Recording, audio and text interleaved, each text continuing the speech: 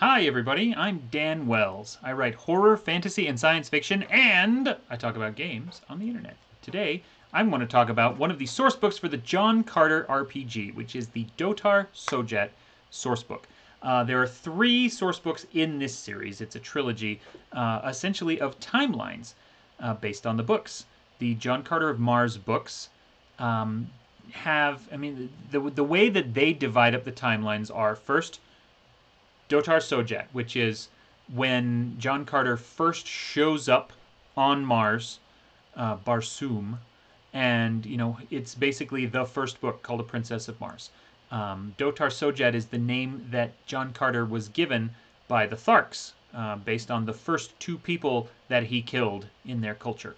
And uh, you know, by the end of it, by the end of the book, then uh, spoiler warning for this like hundred-year-old book, he marries uh, Dejah Thoris and he becomes a Prince of Helium. And so the second book is called the Prince of Helium era, and that covers a lot of the books of the books in the in the John Carter series, and then uh, of the novels.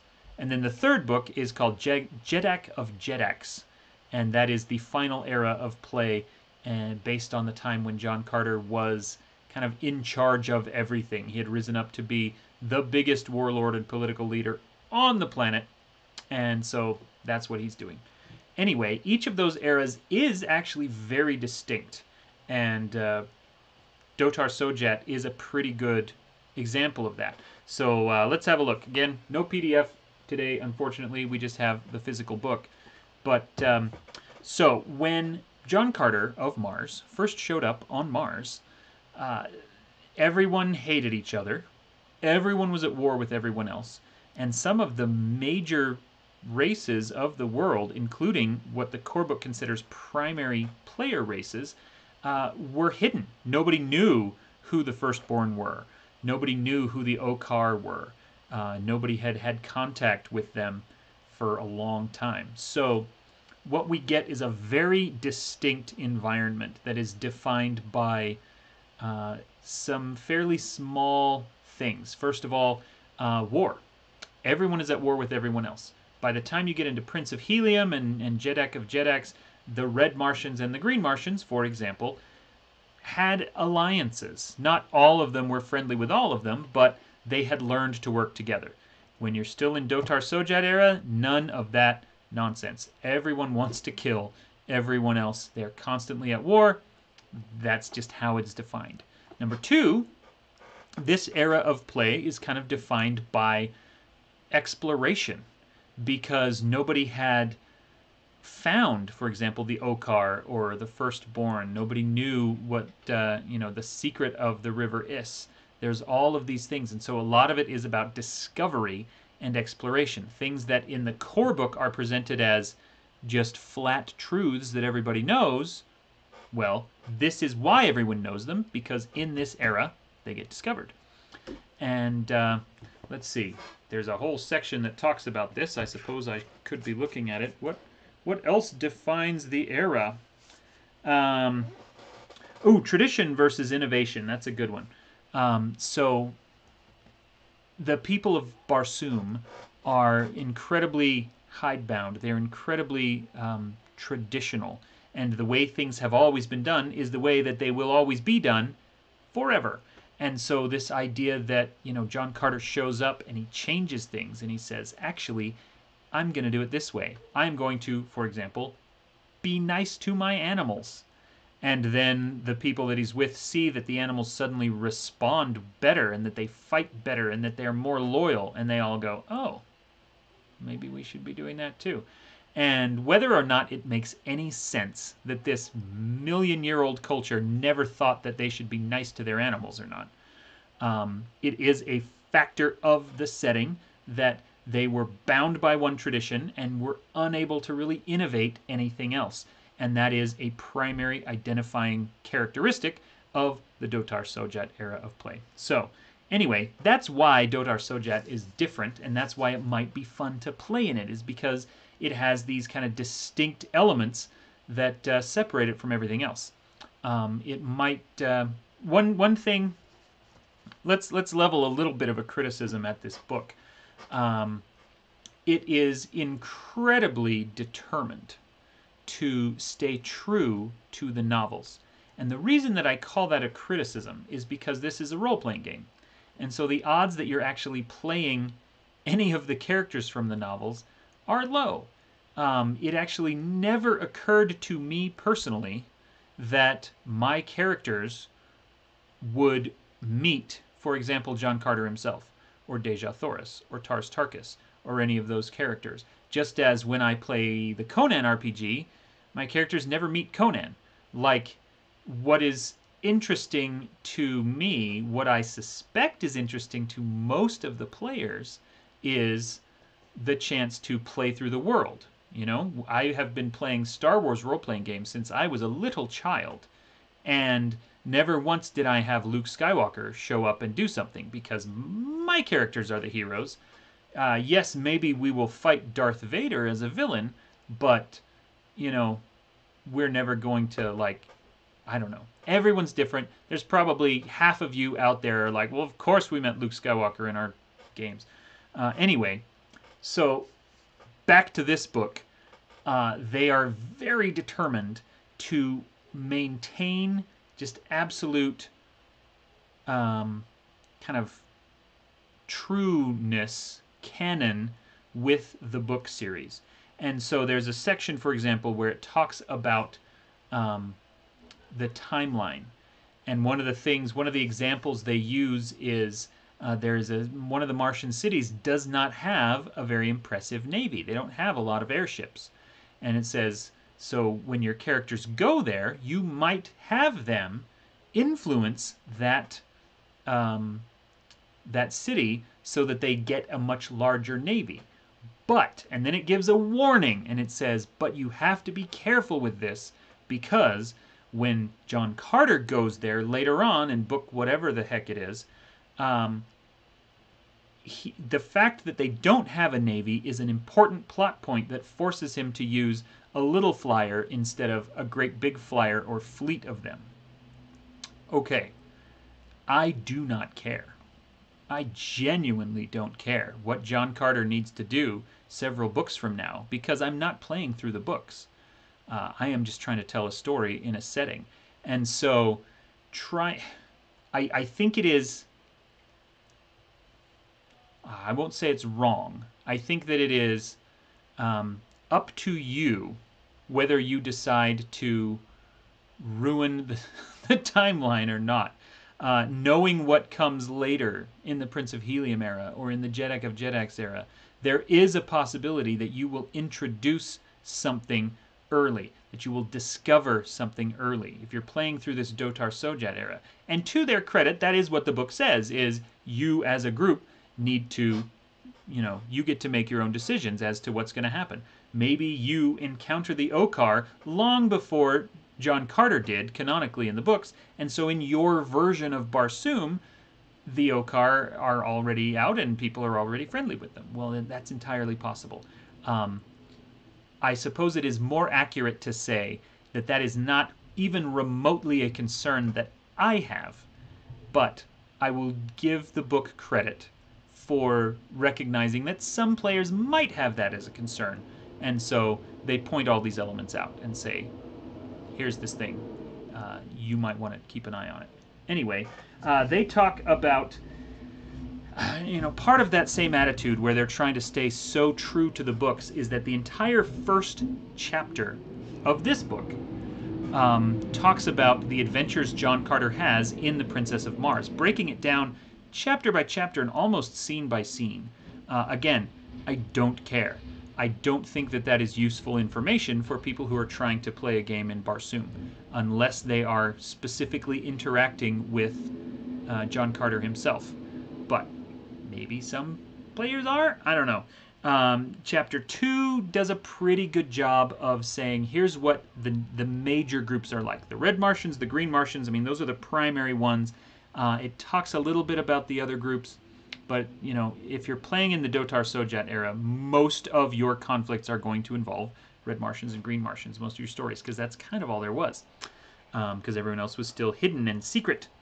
Uh, then it talks about uh, talks about a lot of bad guys. It has a whole section where it talks about good guys, and then we get to chapter four, which, as far as I'm concerned, is where this book gets really good.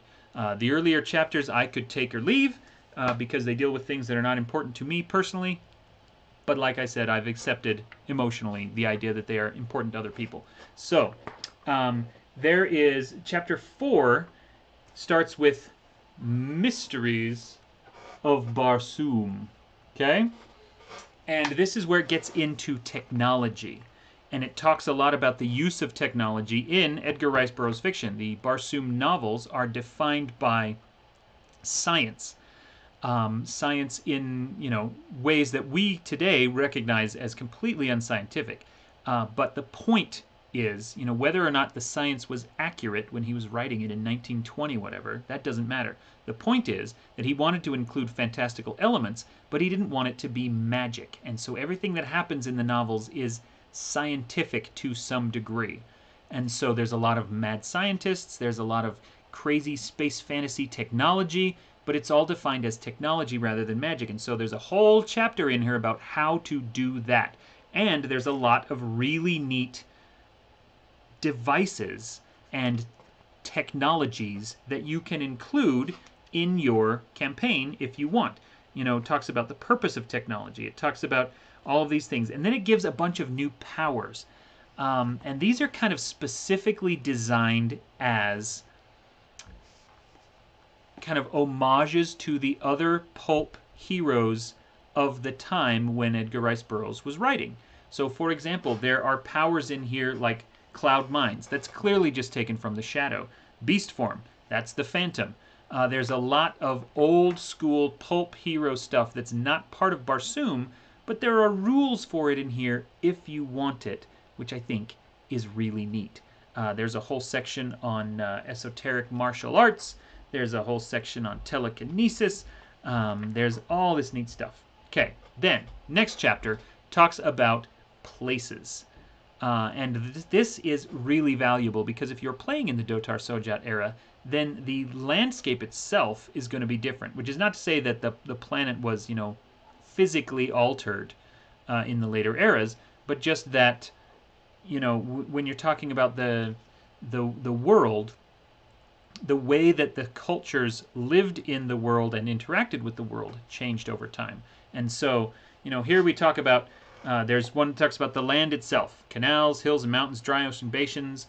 Uh, then there's unknown vistas, where it talks about maybe the past. If you want to play before, you know, maybe thousands of years before John Carter shows up, back when Mars was still a paradise and it had running water and it had uh, orchards and flowers and seas and stuff.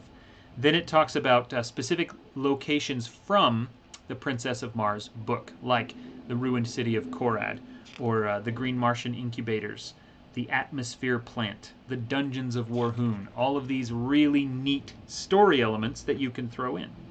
And then it has, it talks a little bit about, you know, how to make your story feel like Barsoom. Uh, you know, how do you use the sense of longing that's in the book? How do you mirror or create the sense of uh, loneliness that comes up in large parts of the book. Then it has other sections that are not from the book, but hooray! We get to, you know, expand past this uh, obsession with canon, just like we did with the new powers, and then here's a bunch of new locations. So, you know, maybe there is a sea full of ruined ships. You know, all the seas on Barsoom have dried up at this point. So there's probably a lot of old sailing ships that are down at the bottom of those dry seabeds what are those like? How can we interact with them? That information is in here, and it's great. There's a section on how to narrate the Dotar Sojat era, which is where it talks about those kind of major touchstones I was mentioning earlier, like uh, discovery, tradition versus innovation, that sort of thing. Um, it talks about why you would play in the Dotar Sojat era. Why pick this one rather than Prince of Helium or Jeddak of Jeddaks?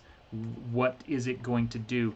And then it talks about specific adventures and campaigns set in this era. And again, it is a little more obsessed with canon than I think is necessary in terms of what it suggests that you can and cannot do.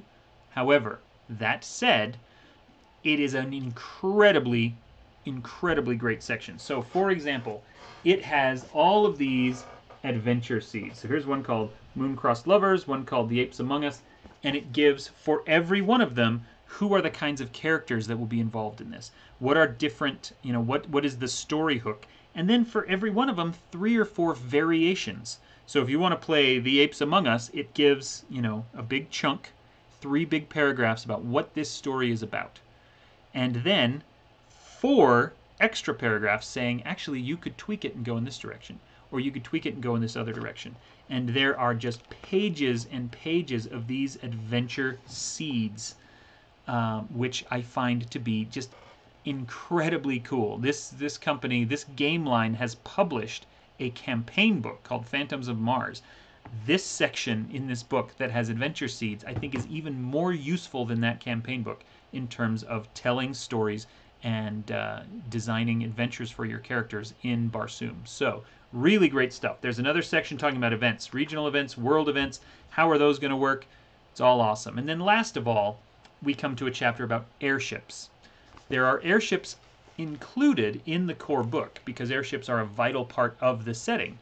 Uh, but this book, Dotar Sojat era, expands that with a massive chapter that explains so much more uh, and uh, kind of what they're doing is they're taking the very abstract airships of the core book and combining them, sort of, with a modified version of the Star Trek ship rules. So there's a lot more detail, there's a lot more variation, uh, there's a lot more that you can do when you get into, say, an airship battle.